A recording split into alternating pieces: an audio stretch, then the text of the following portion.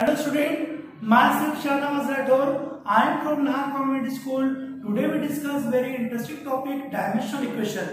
आज हम क्लास 11 के चैप्टर 2 के डायमेंशनल इक्वेशंस के बारे में बात करेंगे तो आइए देखते हैं डायमेंशनल इक्वेशंस क्या होती है dimensional equation the equation which represent the relation of a derived units with fundamental units हम डिराइव यूनिट्स को रिप्रेजेंट कर रहे हैं इसमें फंडामेंटल यूनिट्स में।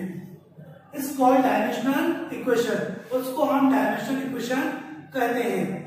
अब देखिए, हम डायमेंशनल इक्वेशन को ऐसे रिप्रेजेंट कर सकते हैं। यहाँ पर जो एम होता है, इसको हम बोलते हैं मास यहाँ पर जो एम है, उसका मतलब है मास जो कि हम केजी में मेजर करते हैं।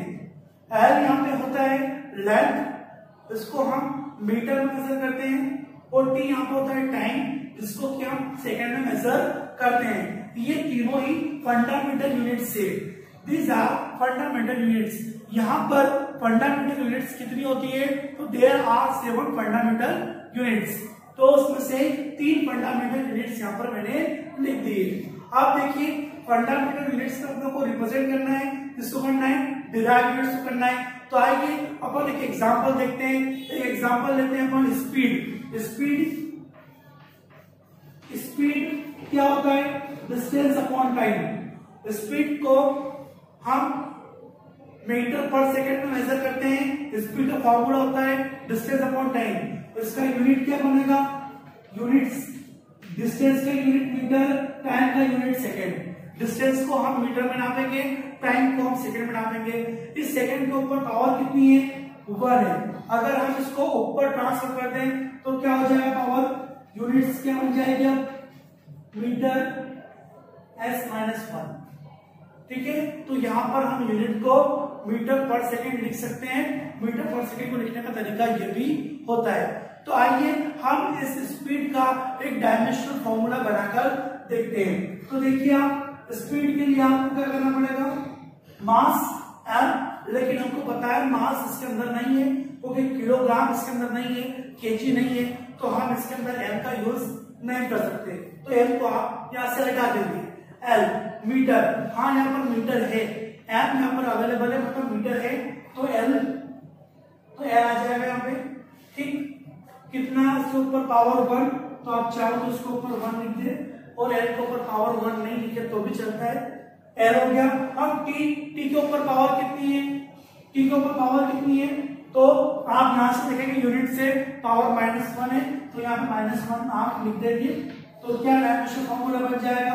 आंसर हो जाएगा एल टी माइनस वन तो ये अपना डायमेंशन फॉर्मूला बन चुका है। इसका डायमेंशन फॉर्मूला स्पीड का। ऐसे ही मैं आपको एक और डायमेंशन फॉर्मूला बनाकर दिखाता हूँ। अब अब की बात देखें, आप बनाते हैं फोर्स का। फोर्स का डायमेंशन फॉर्मूला कैसे आप बनाएँगे? तो सबसे पहले आपको force M equal to M A आपको पता होना चाहिए। F equal to M F M का ही मेजर करते हैं हम। एम को मेजर करते हैं हम केजी में। और ए मतलब एक्सीलरेशन उसका यूनिट क्या होता है? मीटर पर सेकेंड स्क्वायर होता है। तो उसको मीटर पर सेकेंड स्क्वायर लिख दिया। इस एस को पावर को ऊपर ट्रांसफ़र कर लेते हैं। KG metre per second. Metre per second square, है ना? तो ये KG metre per second square वाला फॉर्मूला अपन यहाँ पे यूनिट्स अपन इसको बना लिया। याद रहे, आपको इस फॉर्म में यूनिट्स को लेके आना पड़ेगा तो आपसे डायमेंशन फॉर्मूला बनेगा। आप डायरेक्ट न्यूटन यूनिट्स याद कर लेंगे तो उससे आपका डायमेंशन फॉर्मूला नहीं बन पाएगा। ठीक? तो आप देखते हैं इससे फोर्स का डायमेंशन फॉर्मूला क्या बनता है। तो हम यहाँ पर सबसे पहले फोर्स के लिए देते हैं। अब यहाँ देखो आप केजी केजी मतलब कि कैपिटल एम अवेलेबल है केजी तो एम लिखेंगे। स्मॉल एम मतलब कि मीटर मतलब कि लेंथ उसके लिए एम लिखेंगे। एस मतलब कि सेकेंड सेकेंड मतलब कि टाइम टाइम की पावर कितनी? माइनस टू तो मैं यहाँ पर माइनस टू लिख दूँगा। तो मेरे पास डायमेंशन फॉर्मूला क्या बना? फोर्स का। तो आंसर है M L T minus two यहाँ पर हमने फोर्स का बना के देखा, यहाँ पर हमने स्पीड का बना के देखा। इस तरह सारे डायमेंशनल फॉर्मूले बन सकते हैं, ठीक? लेकिन इसके अंदर डायमेंशनल फॉर्मूले वही बनेंगे जो फंडामेंटल यूनिट्स में क्या हो सकती है? कन्वर्ट होकर हो सकती है। उसको अपन फंडामेंटल यूनिट्स में रिप्रेजेंट कर सकते हैं। ओनली का हम डायमेंशनल फॉर्मूला यहाँ पर बना सकते हैं, ठीक? तो इसी तरह हमारा डायमेंशनल इक्वेशन वाला टॉपिक पूरा कंप्लीट हुआ। Okay thank you